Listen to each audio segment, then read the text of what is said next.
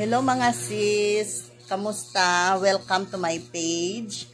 Um, dumating na yung ano ko, yung stocks ko actually nung isang araw pa to. So, i-unbox ko lang.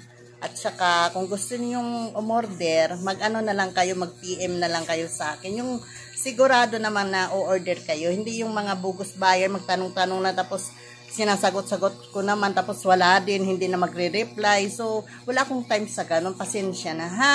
So, ito na yung ano ko, yung stocks ko. Paano ba to i-ano, ulo? Makag. Mm -mm. Ayan, anak ko.